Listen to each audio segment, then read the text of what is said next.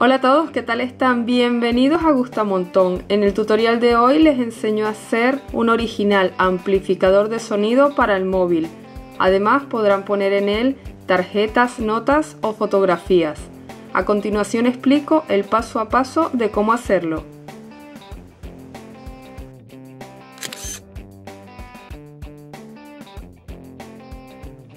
Solo necesitamos cartón, regla, tijera, cúter, la pistola de silicona y en el caso de querer decorarlo podemos utilizar papel, cola blanca, un trozo de corcho y un pincel. Aquí tengo el material principal para hacer este proyecto. Es cartón normal de caja, que sea duro, como pueden ver. En el caso de mi cartón es delgado, también podemos utilizar cartón más grueso. Y en el cartón vamos a trazar las siguientes medidas. De ancho 27 centímetros y de alto 29 centímetros. Vamos a tener el cuidado de que donde marquemos los 27 centímetros sea donde atraviesan las rayas del cartón. No sé si lo pueden apreciar allí. Atraviesan unas rayas así y es donde vamos a hacer el doblez. Entonces tenemos que marcar allí ese ancho de 27 centímetros. Ahora con ayuda de la regla vamos a marcar medidas de 9 centímetros. Pueden ver aquí que he marcado 9 centímetros, 18 y 27 centímetros. Y aquí me sobran 2 centímetros. Lo hacemos de este lado y de este lado. Luego vamos a poner la regla en las marcas para que con la punta de la tijera hagamos una marca no muy fuerte y nos sirva para doblar. Hacemos lo mismo con las otras. Ahora ponemos la regla debajo de esta marca que hemos hecho aquí y vamos a buscar el centro que sería en este caso 13 centímetros y medio. Lo siguiente es medir el ancho de nuestro móvil. En este caso mide 5.8 centímetros, lo voy a tomar como 6 centímetros. Y esa medida del ancho del móvil la vamos a pasar a esta parte. Vamos a poner la mitad del ancho del móvil en la marca que hemos hecho en la mitad del cartón y vamos a marcar a los lados de aquí a aquí 3 centímetros y aquí 6 centímetros ya tengo marcado el ancho del móvil ahora lo que voy a hacer es poner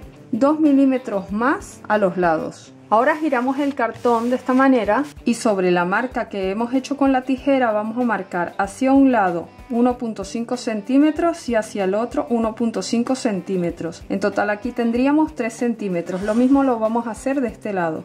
Volvemos a girar y ahora con la regla trazamos unas líneas. Y ahora tenemos que marcar dos líneas de estos lados así que podemos ayudarnos con esta parte recta para que nos quede un ángulo de 90 grados perfecto. Ahora protegemos la mesa porque vamos a sacar esta parte con un cúter bien afilado.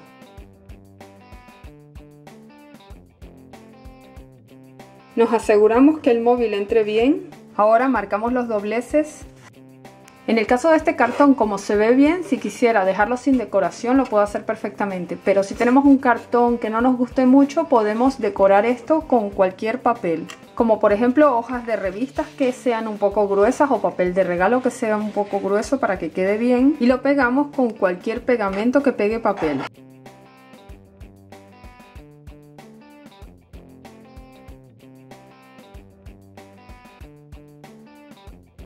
Esta parte la cortamos con el cúter.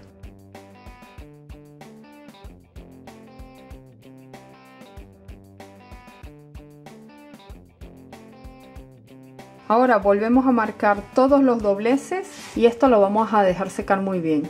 Como vieron en los materiales también podemos decorarlo con una lámina de corcho, en este caso tengo este corcho que no me sirve para nada, mide 4 milímetros, puede ser más ancho sin ningún problema. Y en él vamos a cortar las siguientes medidas, 26 y medio centímetros de ancho con 8.5 centímetros de alto. Y para cortar esta parte lo que vamos a hacer primero es ponerlo de esta manera, le damos la vuelta y de esta forma podemos marcar con el bolígrafo. Y ahora con cuidado vamos a quitar esa parte con el cúter. Vamos a pasar suavemente el cúter varias veces para que el corte quede perfecto. Cuando esta parte haya secado ya podemos pegar, podemos utilizar cualquier pegamento para papel, pero yo para hacerlo más rápido voy a utilizar la pistola de silicona.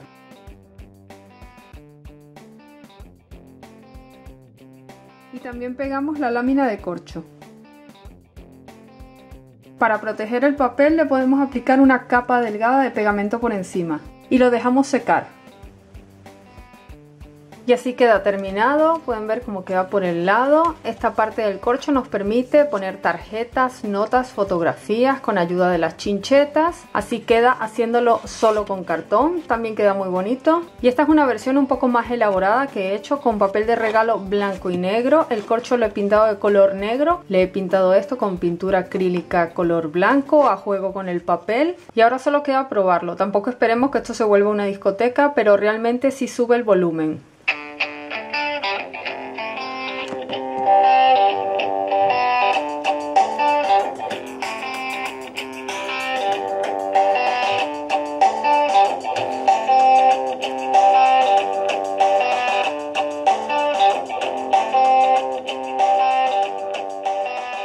Y no te olvides suscribirte al canal. Si te ha gustado este vídeo, darme un like, dejarme un comentario, compartir este vídeo con tus amigos y también me puedes seguir en Facebook y en Twitter.